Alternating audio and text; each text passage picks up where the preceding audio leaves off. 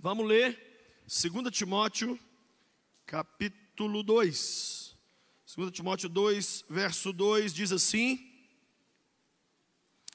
E as palavras que me ouviu dizer, na presença de muitas testemunhas, confias a homens fiéis, que sejam também capazes de ensinar outros.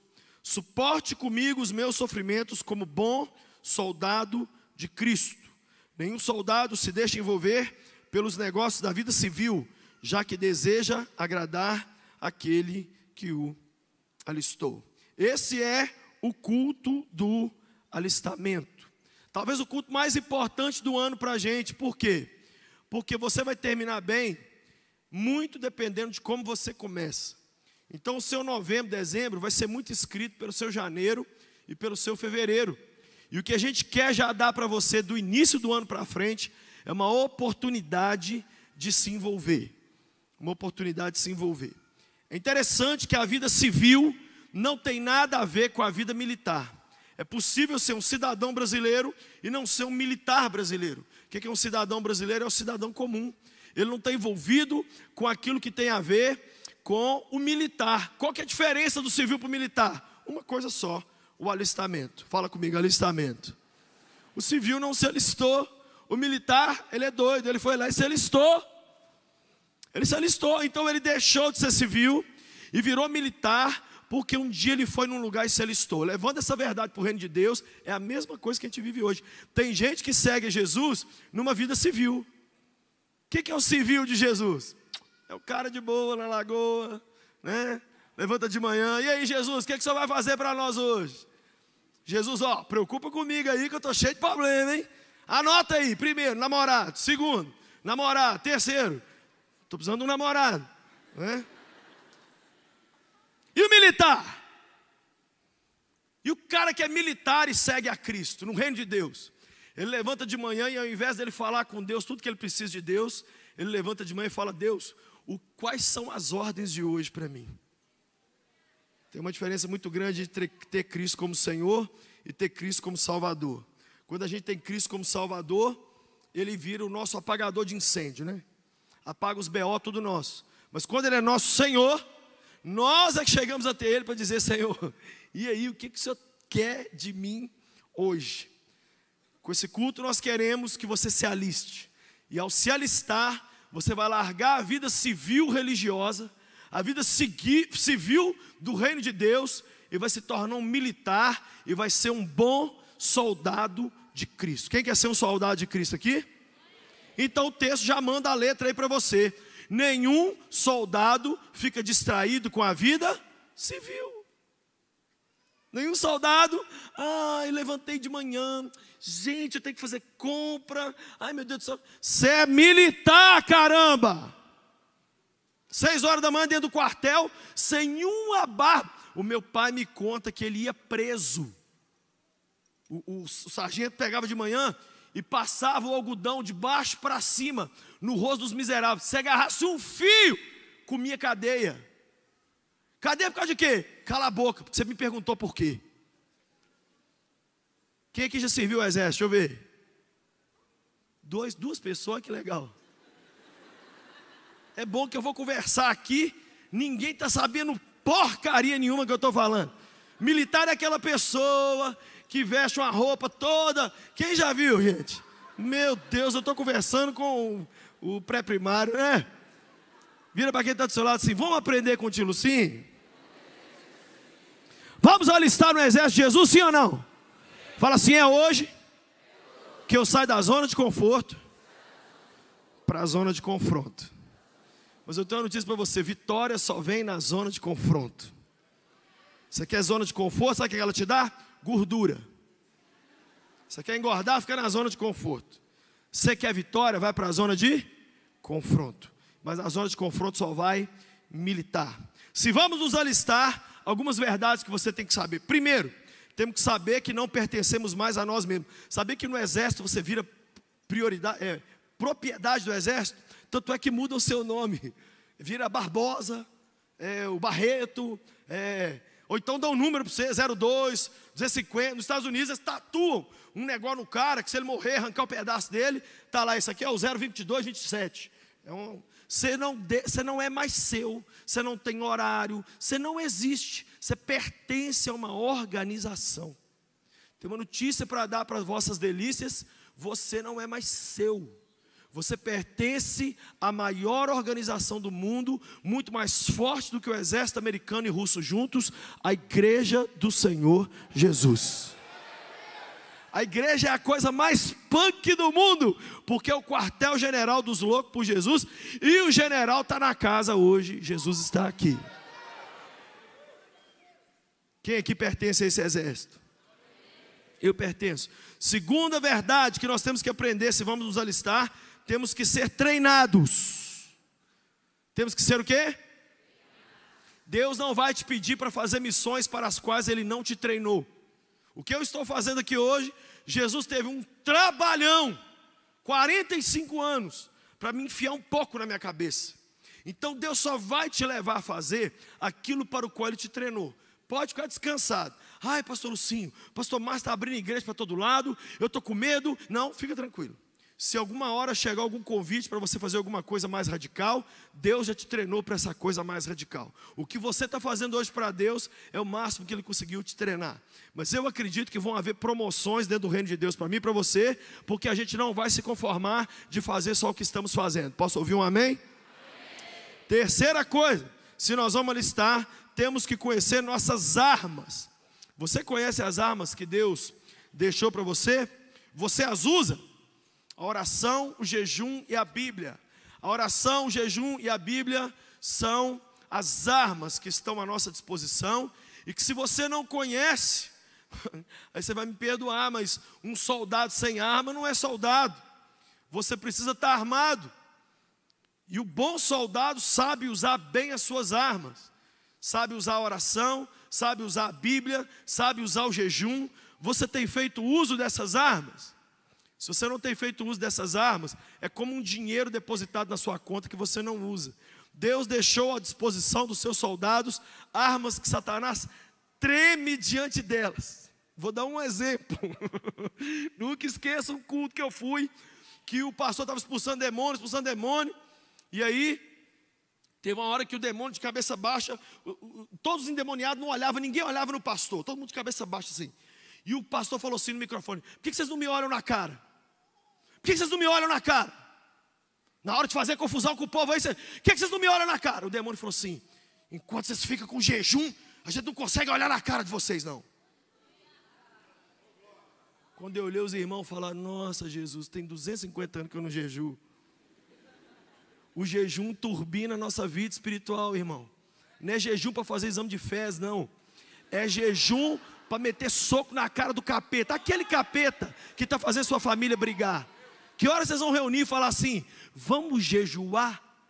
Não, eu sou soldado, mas não uso as armas. Eu vou lá na casa de intercessão da Lagoinha, para os irmãos do Reteté usar as armas em meu favor. Irmão, essa época católica acabou. Sabia que isso é catolicismo que ainda existe em nós? É pedir o outro que ele se santifique, para ele nos. Ô pastor, faz uma oração por mim, eu faço.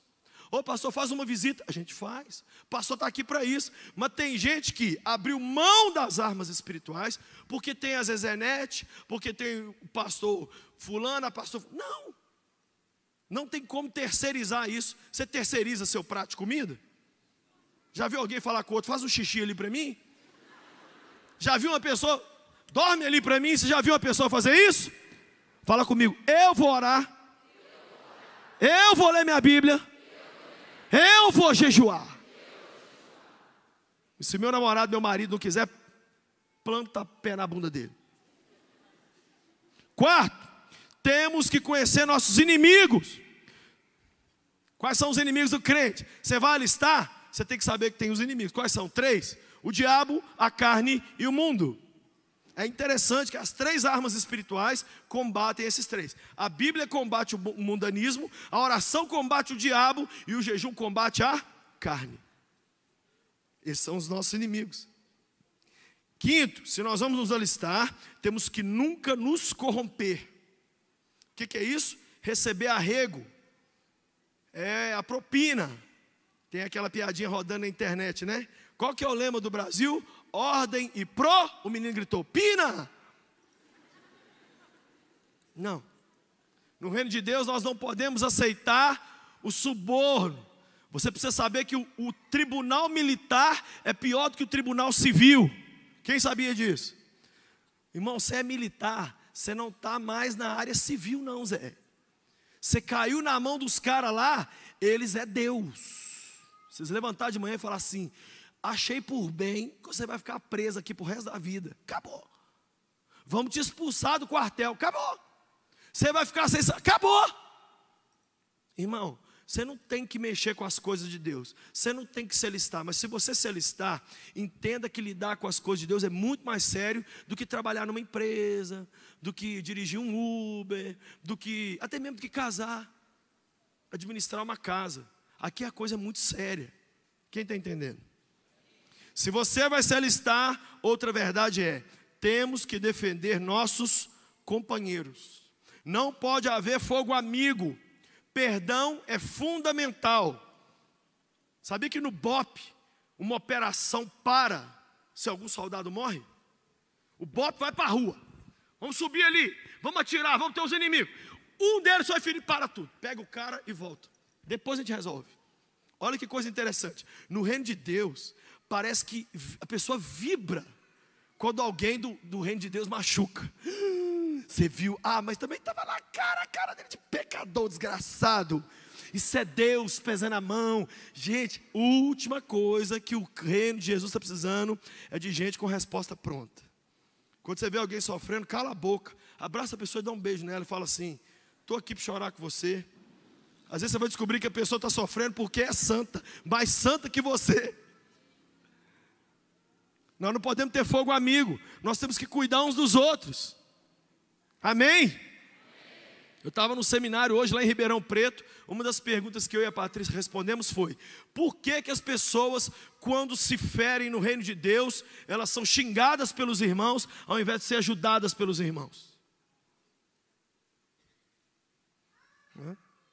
Essa é outra verdade. Você tem que levantar o seu companheiro. Se você vai se alistar no exército de Cristo, outra verdade você tem que saber: temos que seguir lutando e avançando sempre mesmo sofrendo. A famosa frase pede para sair não existe. Não existe pede para sair. Você está no exército, você é militar, acabou. Acabou. O seu 01 pode mandar você fazer o que for, mas você não pode desistir. Uma vez que você entregou sua vida a Cristo, você é de Cristo. Quem que é de Cristo? Deixa eu ver. Com 11 anos, gente, eu entreguei minha vida para Jesus. Acabou. Daquele dia para frente, o meu futuro, o que eu ia ser, o que eu ia fazer, acabou. Jesus é que define. E eu vivo perguntando para ele todo dia, Senhor, e agora? E hoje? E amanhã? O que, que o Senhor quer de mim? Você quer ver como a pessoa está vivendo a vida civil? É quando você pergunta para ela, e aí, tudo bem? A pessoa responde assim, correndo atrás. Militar não corre atrás. Militar não sabe de porcaria nenhuma, ele só recebe a ordem vai para tal lugar. Fazer o que lá? Cala a boca e vai agora. Faz 250 polichinelo. Para quê? Cala a boca. Perguntar de novo, arranca essa língua sua nojenta. Militar. Posso falar uma coisa?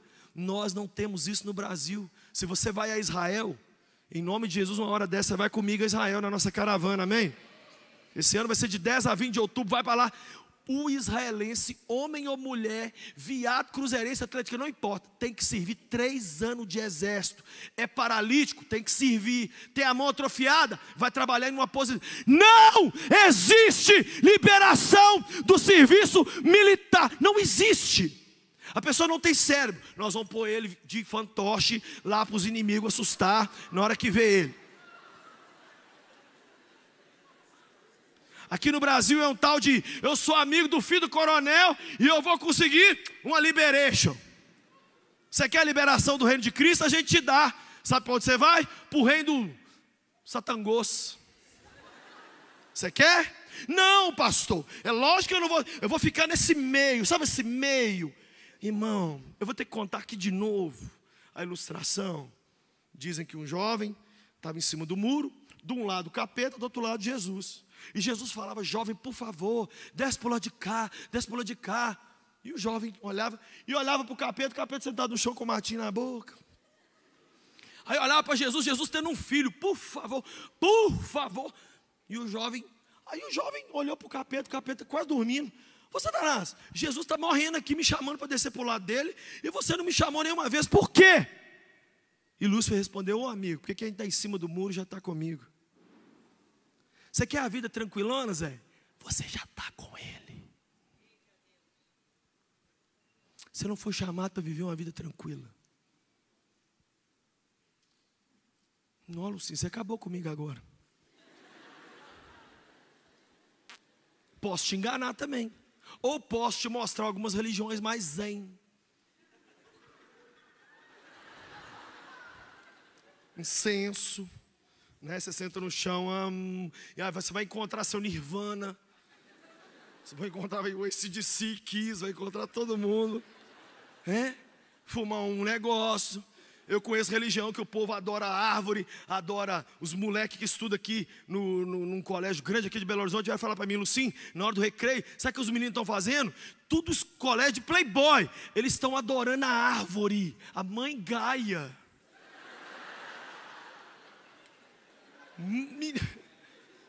Beija a árvore, lambe ela, mamãe, mamãe, não sou perna longa. Fofo, se ela estou no exército, está ferrado. É a mesma coisa de sair da máfia. Já viu algum filme sobre tentar sair da máfia? Já viu o que acontece com a pessoa quando ele tenta sair do tráfico? Por que, que as organizações criminosas não liberam uma pessoa? E no reino de Cristo, eu vou largar o Senhor, que eu estou passando um momento. Está passando o que, seu pombagira?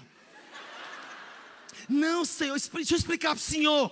Eu posso falar, porque eu já passei de tudo e quanto é coisa desde que eu entreguei minha vida a Jesus. Momento onde até pastor veio até mim e falou assim: dá um tempo. Eu falei: eu vou dar um tempo, de dar um tempo. Tá bom, que eu fui lá e dei meu nome para Jesus, com coisa que eu tivesse dando nome para Aparecida. Não dei para um pedaço de pau, nem para um Deus de gesso. Quando eu vim aqui no altar, eu fiz um negócio sério.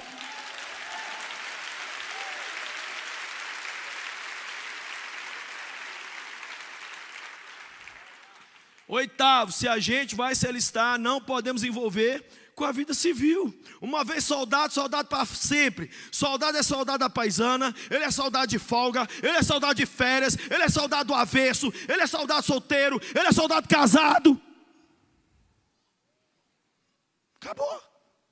A reclamação que muitos filhos fazem, ô oh, pastor, o meu pai é militar. Ó oh, que benção. Não, mas o não é bom não. Por que, meu filho? Porque o papai é militar dentro de casa também. É um quartel lá em casa. A gente, a gente pega cadeia, a gente. É...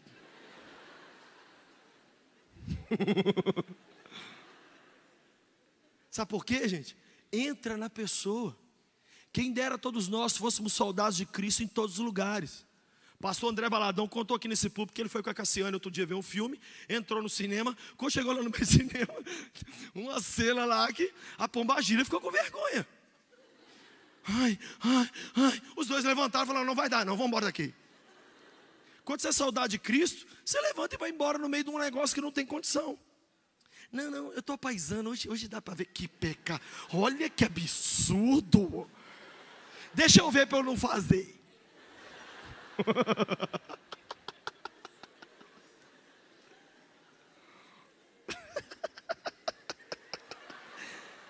Legal, né? Tá todo mundo nesse calorão, fica todo mundo procurando amigo com piscina, né? Amigo com piscina. E geralmente amigo com piscina é amigo com piscina e com cerveja. Aí, é. Aí você tá ali. Toma um aí! Não. Sede, né, rapaz? Oh, maravilha, Deus é fiel. Vou jogar pro Santos Apóstolo aqui um pouquinho. Você é soldado ou não, seu lazarento? Caramba! Engrossa a voz sua! Por isso que eu gosto do muçulmano. Eu peguei um táxi uma vez em Nova York, falei com. Você é da onde, irmão? Ele falou, sou do país Churamacanta, lá um trem cheio de muçulmano. Eu falei, eu gosto de vocês, velho. Vocês são muito doidos. Ele falou, somos doidos mesmo. Por lá a gente faz qualquer coisa, a gente vende tudo, a gente dá tudo, constrói mesquita e a gente se mata.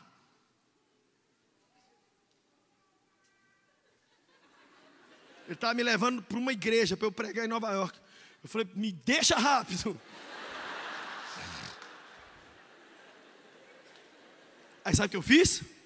Falei assim, mas o meu Deus me colocou nesse táxi para te dizer que com todo esse radicalismo seu, seu casamento está acabando, seus filhos estão se perdendo, eles estão envolvendo com a droga, vocês vieram aqui para a América e a vida de vocês acabou. E eu comecei a falar a vida do cara toda, e fui falando, falando, falando, falando, falando. Aí chegou na porta da igreja. Quando chegou na porta da igreja, eu já saí do carro também.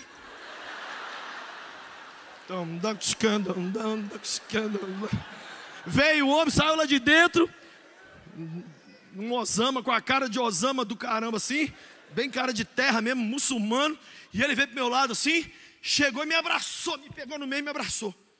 E falou assim: Thank you. Today God rode in my taxi. Obrigado. Hoje Deus andou no meu táxi comigo.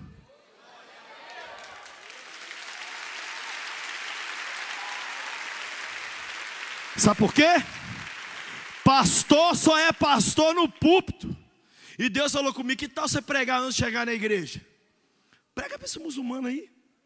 Deus está mandando, você quer, você vai alistar aqui hoje? Você vai ter que pregar para aqueles amigos seus lá na escola, na rua, em casa, no prédio. Menina fazendo sua unha. Imagina, a menina está fazendo sua unha, ela é obrigada a ficar ali.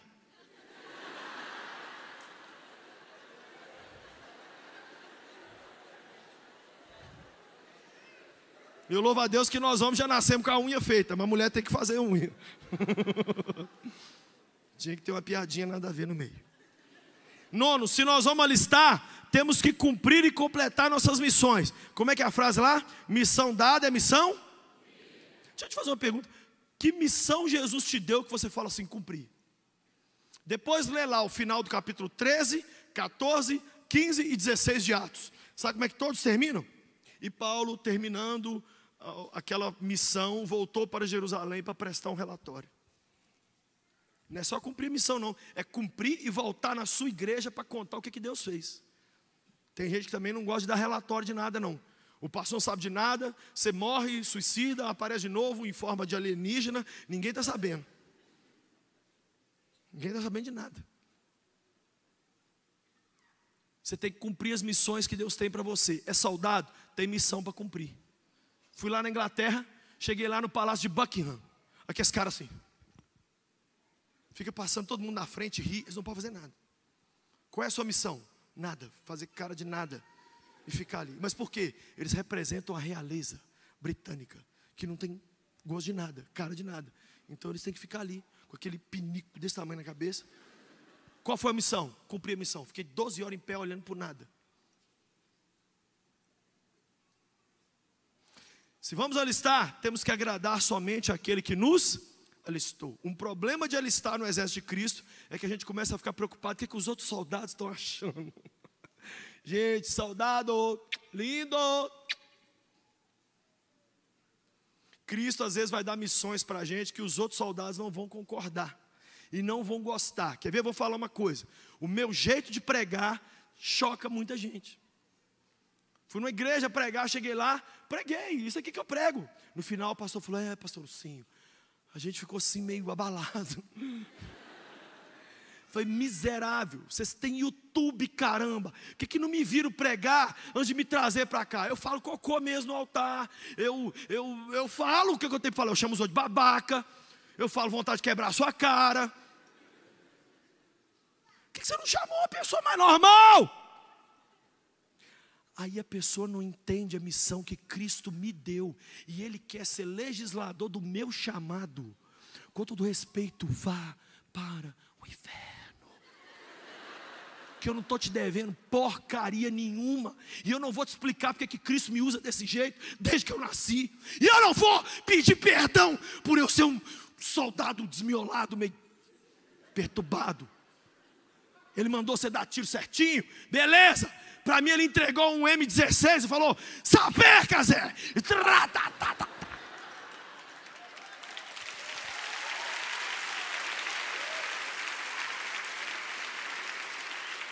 Sabe o que, é que eu amo no pastor Márcio? Olha o que, ele falou para mim outro dia. Filho, eu não cuido, eu cuido, eu, é, eu gerencio chamados. Tudo que eu tenho que fazer é não atrapalhar a Nívia de ser a Nívia. Tudo que eu tenho que fazer é não atrapalhar a Ana de ser o que Deus quer que a Ana seja. Olha a cabeça Jedi do homem, gente.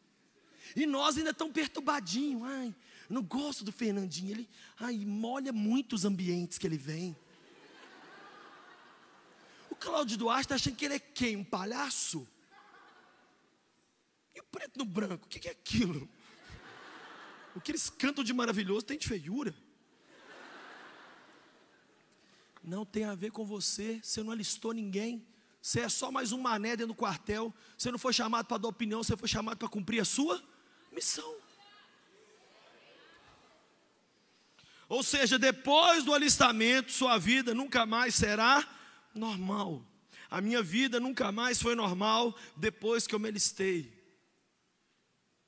Sabe o que eu vou amar daqui a poucos minutos? Se você não quiser se alistar, não tem problema nenhum. Não tem problema não. Mas se você se alista, cara, por favor, não trata isso como forma leviana. Seria como é, a pessoa fazer um contrato de compra e venda de um carro, de uma casa, e não honrar aquele contrato. Você não vai fazer nada comigo, porque eu não vou fiscalizar, nem com o pastor Márcio. Você vai fazer com o Senhor. Eu tenho uma frase que eu gosto muito: crente que não trabalha para Deus, dá trabalho para Deus. É interessante que as pessoas que menos me deram canseira aqui na igreja são as pessoas que mais ralam. Vou dar um exemplo de uma pessoa que rala aqui dentro. Pastor Flavinho. Quem conhece o pastor Flavinho? Pastor da Lagoinha Savassi. O menino, gente. Eu falei com ele essa semana, Flavinho, para de aceitar as coisas. Ele, ele, você der para ele, passa pano nesse chão, ele passa. Assume não sei o que, ele assume. Vai, pega a igreja tal, a igreja tal, ele vai. Vem não sei aonde, ele vai. Nunca me deu uma canseira, só me manda áudio assim, pastor, o que, que o senhor está precisando? Eu falei, Flavinho, para de perguntar, que eu vou mandar um dinheiro, eu vou, eu vou falar uma cifra. Não, eu quero te servir, eu quero te ajudar. Falei, Flavinho, você não tem tempo para fazer xixi, rapaz. Faz xixi.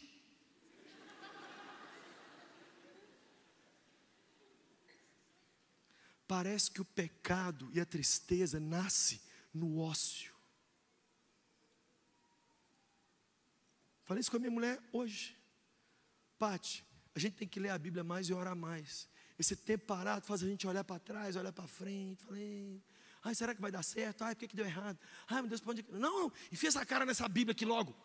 Vai ler, lê, lê o que tiver para ler. Lê genealogia. E fulano gerou fulano, gerou fulano. Falei, meu Deus, que povo tarado é esse? Vai orar. Deus, estou aqui. Estou aqui orando porque eu não quero ficar pensando nos problemas. Então estou aqui para falar com o Senhor. Não, a gente ainda não tem uma mente militarizada, disciplinada, uma mente que tem horário. Minha mulher sabe a minha chatice com horário. Parece que eu engoli o inglês. Você quer me ver transtornar de pensar em falar palavrão? É uma pessoa demorar dez minutos depois de um compromisso comigo. Você atrasar num compromisso, sabe o que as pessoas na Europa e nos Estados Unidos acham? Quem atrasa um compromisso é porque não teve acesso a estudo. Eu contei para os meus amigos na Europa e nos Estados Unidos que aqui no Brasil é chique a pessoa atrasar no próprio casamento. Sabe o que eles me falaram? Mentira. Ninguém é tão medieval. Eu falei, oh yes. Então, meu país está vivendo há 500 anos atrás, porque as pessoas no Brasil não têm horário, não sabem cumprir tabela, cumprir meta, não, vai vivendo. É isso aí, é isso mesmo. Jeito que der, a gente vamos fazer. No final, pastor Luci, vai dar, vai dar tudo certo. Ai, irmão.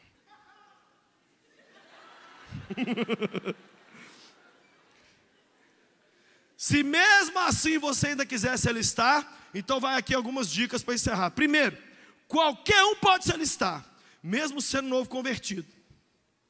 A Bíblia diz que Paulo se converteu em Atos capítulo 9, de 1 a 10. E no verso 18, a Bíblia diz assim: E logo pregava que Jesus era o Cristo.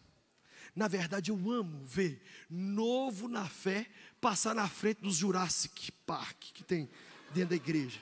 Gente que chegou agora, passa, vira para os velhos e fala assim: dá licença, Dá licença, o, o comentarista do reino de Deus, dá licença aqui que eu já estou com 10 células, eu já estou ajudando o pastor lá, eu estou ajudando aqui na diaconia, eu vou pegar intercessão, eu quero pegar esse papelzinho, tudo vai ter que pastor sim. Vou levar lá para casa, pregar tudo assim, ó, e eu vou ficar olhando, vou marcar todos, e eu vou ligar, eu vou em todos. Aí daqui a pouco você está aqui na igreja, 420 anos, o que, que você está fazendo para Deus? É, eu estou aqui, né? É novo convertido? Pode se alistar. Amém? Você quer se alistar? Outra dica: qualquer um pode se alistar mesmo sem ter toda a capacidade. Moisés, lá em Êxodo capítulo 4, verso 10, falou com Deus assim: Eu não posso me alistar porque eu sou. O quê? Gago. não discute com Deus que Ele tem uma saída para tudo. Você quer falou? Eu não vou curar sua gagueira. E não te dispenso. Vou mandar seu irmão Arão ele vai falar por você.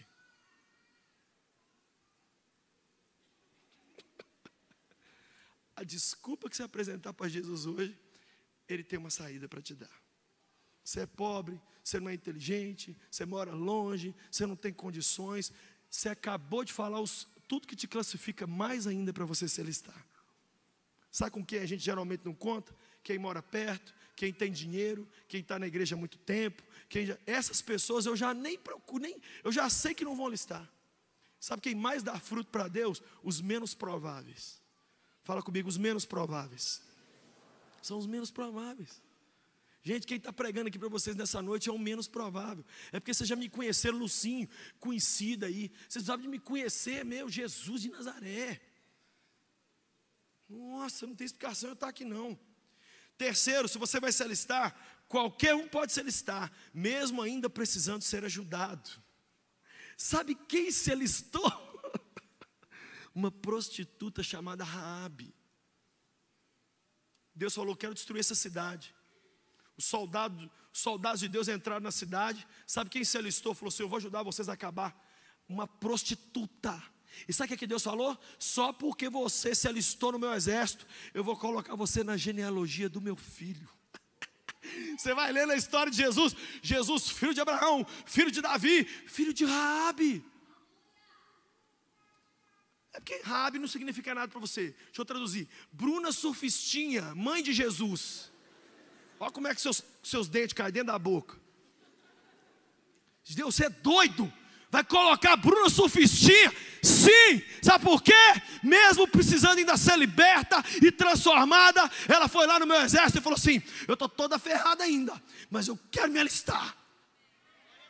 Você tem problema? Você fuma? A lista aqui, ó. Você vai ver essa peste desse cigarro não ir embora. Você está com depressão? Se aliste. E, e você vai ver se Deus não vai libertar outras pessoas através de você e você também não vai ser curado.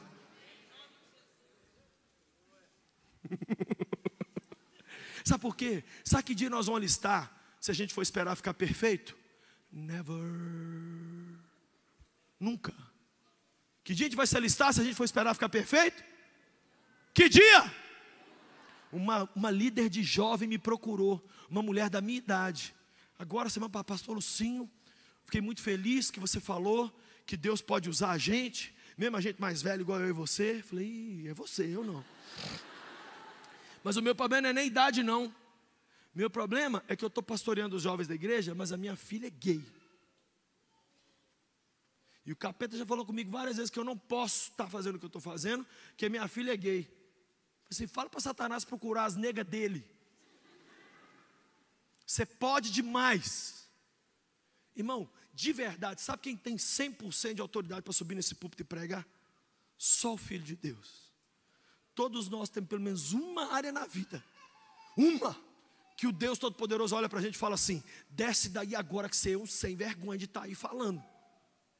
Às vezes você é um cara de oração, mas é uma pessoa que não paga as contas direito.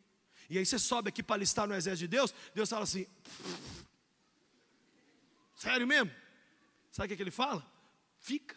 Fica no meu exército, eu vou sarar você, eu vou curar você, porque para ser soldado não se exige perfeição, se exige, devoção. Quem é devoto de Jesus aqui? Se você vai se alistar, quarto, Qualquer um pode se alistar, mesmo depois de ter cometido pecados terríveis e de ter abandonado seu lugar no exército. Sabe quem? Sansão. Sansão era grande soldado de Deus. Abandonou o posto, abandonou a função. Sabe qual era o cargo de Sansão? Proteger o povo de Israel dos filisteus. Virou o palhaço, foi jogado, ficou cego, mas um dia ele fez uma oração. Eu, eu, eu cronometrei a oração de Sansão. A oração de Sansão não dura 10 segundos. Ó oh, Senhor meu Deus, mais uma vez fortalece o teu servo, para que eu possa vingar-me dos filisteus pelos meus dois olhos que eles me furaram. A Bíblia dizia: o Espírito do Senhor veio sobre Sansão. Capitão Nascimento entrou nele e falou: ah! jogou no chão uma casa mais ou menos desse tamanho, com três mil filisteus. Ele matou mais em um minuto do que em toda a sua vida. Se você hoje desertou o exército de Cristo e quer voltar, em um minuto que você voltar para Jesus, Ele te usa para fazer mais do que você fez em toda a sua caminhada cristã até hoje.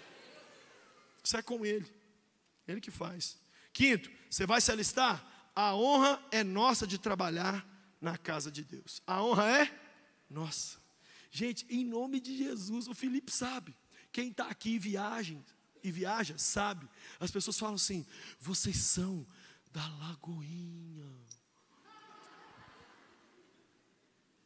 Quem já foi em algum lugar e os outros falaram assim: Deixa eu pegar em você. Você é da lagoa. Você já entrou dentro da hein? Quem já, quem já viu as pessoas ter uma reação assim? Quem já viu? Eu falo assim, gente, é só uma igreja. Não, é lagoinha. Gente, a lagoinha é uma bola de neve que derreteu. A Lagoinha não é. Não, é maravilhosa. É a última biscoito do pacote. É a coisa. Não é. Mas eu deixo te falar uma coisa. É uma honra e um privilégio a gente estar aqui servindo ao Senhor. Não faça da igreja um trampolim para o seu ministério pessoal. Eu acabei de chegar de uma viagem, todo sábado você sabe, eu estou chegando em algum lugar. Eu não precisava estar aqui, não. Eu podia virar para o meu pastor e falar assim: põe um outro cara aí, tempo integral. Mas a honra é minha de vir para cá. Vim rouco, vim canto, é minha. Não tenho salário para estar tá fazendo isso. A gente vindo de carro aqui agora, eu, minha mulher e o Paulo. Paulo está sentado em algum lugar aí. Eu, quando estava faltando dois quarteirões para chegar na igreja, os ônibus agarraram ali. Eu falei assim: Paulo, Dá um negócio gostoso no meu coração quando eu vou chegando perto desse prédio, rapaz. Entrar aqui nessa lagoinha é um negócio que. Entenda isso. A honra é nossa. Fala comigo, a honra é minha. Você vai alistar? A obra não vai parar se você não quiser se alistar. O mais triste não é você se alistar, é você ver Deus lá na frente colocar a gente mais ferrada que você para fazer o que você não quis fazer. Aí depois você vai chegar e falar assim: quem é que está cuidando dos jovens? Quem é que está cuidando dos adolescentes? O Zidane?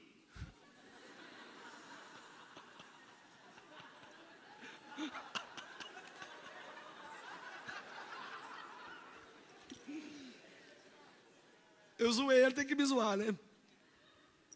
Cabelo aqui, os outros, outro dia o pessoal me perguntou se é do chororó. Você sabe o que acontece? Deus vai colocar os disponíveis. Quem está disponível aqui para a obra dele? É isso. E eu posso falar, a molecada está pirando lá nos adolescentes. Você tem um irmão um adolescente, um sobrinho, sobrinho, um primo, um qualquer coisa, um vizinho, rasta ele e traz ele para o culto dos adolescentes, que a nossa união de adolescentes está pegando fogo. Está pegando fogo. O culto dos meninos é muito mais louco que o nosso. Vou enganar vocês não. Vocês estão muito presbiterianos, muito batistão muito certinho, sentado, olhando. Molecada lá em Estado Islâmico. Sétimo, se você vai se alistar, você vai dar o seu nome e não ficar sentado esperando um telefonema, nem um WhatsApp, não. Você vai procurar se envolver. É, pastor, que eu dei meu nome, mas até agora eu não recebi nada, só recebi mãozinha no WhatsApp assim de oração. É engraçado, né? Que quando sai um dinheiro na conta da gente, gente o dinheiro não vai fluir. A gente vai lá no banco, a gente saca, a gente arruma. Quando, olha, deixa eu te falar uma coisa: quando Deus dá um trabalho para a gente, na verdade, o trabalho que Deus dá para a gente são as promoções dele. As promoções de Deus vêm disfarçada de trabalho. Quer ver? Davi vai matar Sansão. É um trabalho. Mas depois que ele realizou o trabalho, ele descobriu que era uma promoção. Ele foi promovido porque executou um trabalho. Sabe por que, que eu sou quem eu sou? E o povo está me convidando para pregar para jovem no Brasil inteiro? Porque onde eu trabalhei com jovens, eu procurei fazer um bom trabalho. Eu não sabia que um dia as outras igrejas iam falar assim: vem aquilo sim pregar para eu. Não sabia. Agora eu vou. Mas, mas virou minha promoção. Mas eu não fiz pensando nisso. Gente, eu não perdi 50 sábados. A minha vida inteira, Deus que eu me entendo por gente. Você sabe que é 45 anos enfiado em igreja, todo sábado, todo domingo, culto com jovem, culto com adolescente, três adolescentes, 50 catarrentos, 200 e vai. Aí passa para o departamento, você tinha 200, volta para 10, aí vai para 50, aí vai para 150, aí quando o trem começa a melhorar, passa para um outro, aí você pega mais ninguém, pega ali o, o chucaveiro, o preto velho, três meninos catarrentos sem dente, e vai de novo, só demônio, aí você vai, trabalha, os meninos viram pastor, eu não aguento mais chegar nos lugares, e o pessoal fala assim, você foi meu pastor, eu fui seu pastor aonde rapaz? Foi, você foi pastoreou. E, e o que, que você é agora? Pastor presidente da igreja de Covas Neves dos Altos Céus. Você está brincando comigo? Mas que, quando que foi? Foi aquela igreja assim, assim, aquela época. Sabe o que eu descobri? Eu treinei um monte de pastor presidente, eu nunca fui pastor presidente de igreja nenhuma. Eu calculei outro dia que mais de 400 jovens hoje são pastor presidente de igreja, e eu nunca fui. E eu não tenho plano de ser, pode ser que um dia eu vire. Mas o que eu estou te dizendo é o seguinte: se você se der, der o nome para listar, Deus vai fazer coisa que você não está esperando. Porque o sim é seu. Mas o que vai vir depois disso é com Ele. Quem, quem quer ser surpreendido por Ele aqui? Está acabando. Oitavo, eu já falei, quem trabalha para Deus não dá trabalho para Deus. Agora a frase do Elvis, ó. It's now or never. É agora ou nunca. Se você não trabalhar para Deus na juventude, vai trabalhar quanto? Olha a vida como é que é, ó. Você é adolescente, você está doido. Você tem hormônio saindo no, no, no, no, seu WhatsApp. Aí você vira jovem. Ai meu Deus do céu, estuda, trabalha, está dentro da juventude. Aí você casa, irmão. Aí já chama morra abaixo. Que o bem começa. Ai, nós temos que ir embora, né, bem? Hoje está meio frio, estou achando que vai nublar depois da manhã. Aí já começa, você já estava envolvidão na igreja, já começa, aí nós temos que ir embora, nós temos... Deixa eu explicar uma coisa, você casou, você não, você não envelheceu 10 anos da noite para o dia, não. Se você casar jovem, continue jovem na juventude da igreja, cara. Ou você virou um vovô porque casou. É por isso que o povo está tão vovô que nem fazendo sexo estão mais casa e fica olhando um para a cara do outro dentro de casa, assistindo Netflix. Deus está falando forte aí, hein? Mulher cutucando o marido, falando, viu bem. Essa moleza que você está nela aí. Aí arruma o primeiro filho. Aí, irmão, é a mesma coisa do sepultamento. Gente, é legal ver como que uma coisa maravilhosa dada por Deus, chamado filho, vira o ponto final do ministério das pessoas. O que eu já ouvi de, ai, pastor, gostaria tanto de ajudar o Adriano nessa viagem. Jesus, mas assim, ai, o Carlinho, menina. Né, esse tempo assim, meio assim, a gente tem que cobrir ele bem. Menina, tem que cobrir caramba nenhum. Vai com esse menino para tudo enquanto é evento. Quando você tiver filho, envolva na igreja. Fica mais alistado ainda. Se tem duas crianças no mundo que pode até nunca fazer nada para Deus, mas não vão ter desculpa para não fazer, chama Davi e Emily. Porque desde que esses nojentos nasceram, eles já nasceram dentro da igreja assim, e vendo o pai pregando e a mãe correndo, e festa, acampamento, e retiro, e um monte de coisa, e a gente passa ele para o colo de um, passa para o colo do outro. Não morreram por causa disso, não estão traumatizados, não vão precisar de psicólogo, não pegaram doença lá da é, bola, não pegou chikungunya, não pegou nada. Ai, não pode fazer isso não. Pode fazer, pode. O meu Jesus é digno de eu pegar meus filhos e levar eles para o sol, para a chuva, para a viagem missionária. O meu problema e o seu é que a gente não dá moral para Jesus mais do que dá para os nossos parentes. A gente casa e a mulher vira tudo, e o marido vira tudo, e os filhos vira tudo. E Jesus fala: e o chamado que eu te dei com 12 anos de idade para ser um missionário, oh Senhor, agora eu estou com essas âncoras, oh, com essas bênçãos. Quem dera você morrer solteiro, mas entrasse nos portão do céu e falasse: combati o bom combate, terminei a carreira e guardei a fé. Não vai entrar cheio de menino, cheio de varize, cheio de lote, deixou carro, deixou casa. Senhor, chegamos. Que isso? Vocês erraram. Gravação da família Adams é lá embaixo. Entra aqui, um monte de miserável. O que, é que vocês fizeram para mim? Ah, Senhor. Assistimos cada culto, Pai. Que parecia Brasil e Argentina. Era cada culto que a gente assistia que era coisa de doido.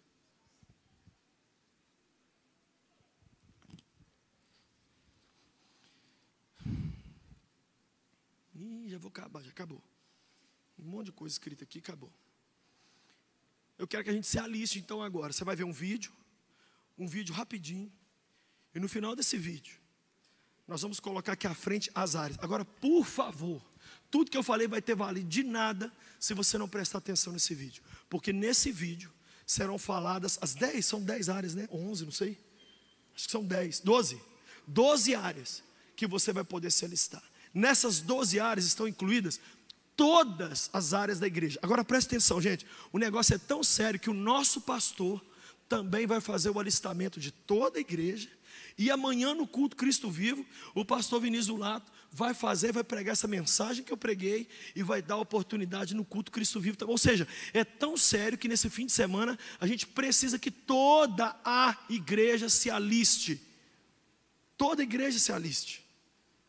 Inclusive, quem não recebeu o papelzinho aqui do alistamento? Levanta a mão.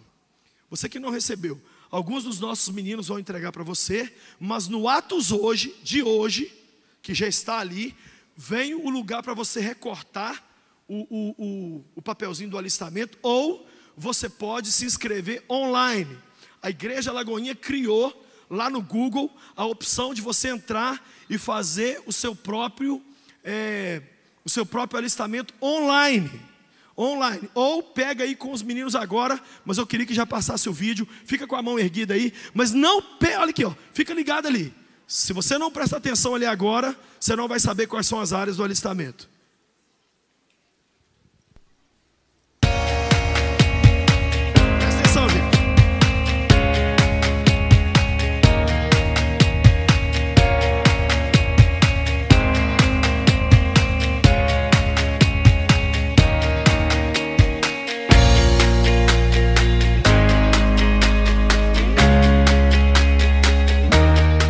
Aqui nos Adolescentes Lagoinha nós temos diversos setores, diversos departamentos. Para que você possa atuar junto com a gente, você basta amar adolescentes.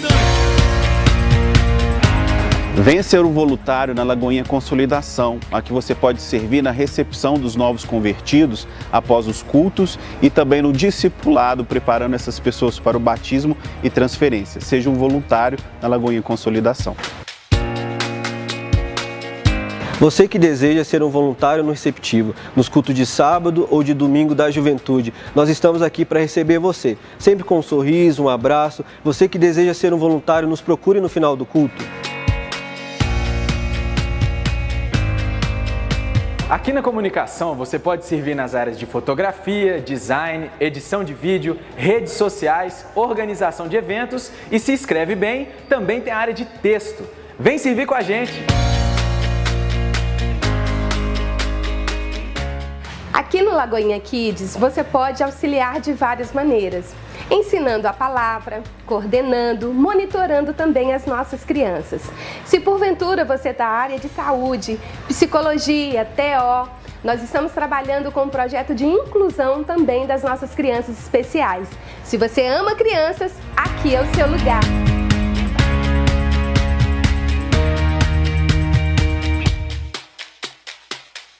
Aqui na Diaconia você pode servir com a gente, apoiando em todos os cultos e em todas as atividades. Precisamos de vocês. Olá, você que quer ser um voluntário na intercessão, nós queremos te convidar para estar conosco, para orar pela nossa igreja, orar pela sua própria vida. O mais abençoado é você. E eu tenho certeza que a intercessão vai fazer todo o diferencial na sua vida. Você é muito bem-vindo como voluntário na intercessão. Aqui no Lagoinha em Ação, nós trabalhamos em duas áreas, evangelismo e ação social. Se você deseja servir, levando o Evangelho de Deus a toda criatura e ajudando aos necessitados, aqui é o seu lugar. Venha servir com a gente.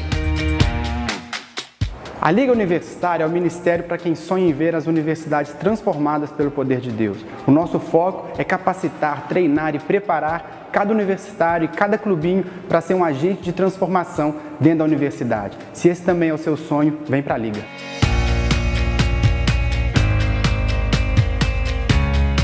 Aqui na Casa de Célula você vai ser uma bênção, fazendo ligações para o CFC, para as células, para a, o impacto vida, para o encontro tremendo. Você será de fato alguém que vai ajudar a somar conosco.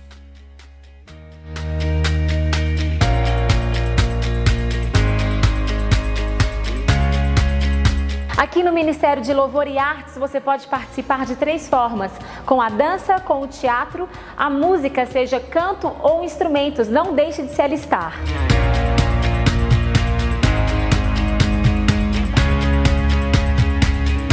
Se você gosta de esportes radicais, passeio de ecoturismo, atividades de resistência, venha participar do nosso Ministério de Esporte. Aqui você vai encontrar muita comunhão, evangelismo e atividade física. Ministério de Relacionamentos, você pode participar com a gente, você que acompanha casais, que tem experiência nessa área, você que já sonhou em trabalhar nesse ministério e nunca teve a oportunidade, esse é o momento. Vem com a gente para o Ministério de Relacionamentos. Então agora é com você. Você vai se alistar nesse momento, pega essa folhinha, preenche a área que você vai participar. O exército de Cristo precisa de você. Ele já fez a parte dele, que é morrer. Agora é a sua parte, viver. Viver para servir os irmãos, não é para ser visto é para ser visto. Faça o seu serviço no exército do Senhor, se aliste agora, entregue esse papel, porque o Mestre nos chama. Eu vou chamar aqui à frente então agora. Eu vou chamar aqui agora então os líderes das áreas. Pode vir aqui, aqui à frente, pode vir todos eles aqui à frente, que a gente quer deixar bem claro fisicamente quem é de qual área porque nós vamos te dar essa oportunidade. Enquanto eles vêm, nós vamos orar. Nós vamos orar. Eu queria que você, no seu lugar, é, fechasse seus olhos. Escute só o que eu vou te contar aqui antes. Um dia, um pastor nos Estados Unidos pregou num domingo de manhã. Tinha 40 pessoas no culto, preste atenção nisso: 40. Uma pequena capela. Quando ele acabou de pregar, ele falou: Sabe o que? Jesus está chamando pessoas para servi-lo. Foi um sermão muito simples, ninguém riu, teve nada de engraçado, nada. E ele disse: Quem quer servir esse Jesus, vem aqui na frente. E um menino de 11 anos foi. E aconteceu com esse menino a mesma coisa que aconteceu comigo quando eu aceitei Jesus. Quando eu aceitei Jesus, eu fui o único que foi na frente. E o pastor me abraçou e sabe o que ele ficava falando? Não tem mais ninguém, não, gente. É tipo assim: isso aqui não é gente, é um. É meio ser humano, eu estou falando gente. Não é um hobbit, é uma pessoa que eu queria. Assim como fizeram comigo, fizeram com, esse, com essa pessoa, com esse menino nos Estados Unidos. Esse menino foi o único que aceitou Jesus naquele dia. Mas esse menino levou a sério o chamado. Sabe qual é o nome desse menino? William Franklin Graham, Billy Graham, o maior evangelista de todos os tempos, incluindo Paulo, incluindo Pedro, incluindo Moody, incluindo todo mundo, o maior evangelista que nasceu na terra. Pregou o evangelho pessoalmente para mais de 200 milhões de pessoas. Não é por TV, nem por rádio, nem por livro. Ele pessoalmente evangelizou mais de 200 milhões de pessoas. Um menino de 11 anos que disse: Chega, eu saio da minha zona de conforto e eu entro para a zona de confronto. Ele está hoje com 97 anos lá nos Estados Unidos, está com mal Alzheimer, está com Parkinson. mas é um grande herói. É um exemplo de dedicação. E no meu quarto de oração, na minha casa, o dia que você for lá na minha casa, você vai ver. No meu quarto de oração, eu tenho uma foto do Billy Graham. Ele assim, já bem velhinho, cabelo branco. Tiraram a foto dele assim, orando. Quem sabe, hein? Se a gente disser sim num alistamento desse, um dia, uma foto nossa, a história da gente, não vai inspirar muitas pessoas a trabalharem para o Senhor. Pai, eu oro nessa hora por cada um que está aqui. Deus, eu preguei de uma forma muito simples, o Senhor conhece o meu coração. Se eu tivesse mil vidas, eu te daria as mil vidas. Se eu tivesse cem vozes, eu te daria cem vozes. Se meu dia tivesse 40 horas, eu te daria 50.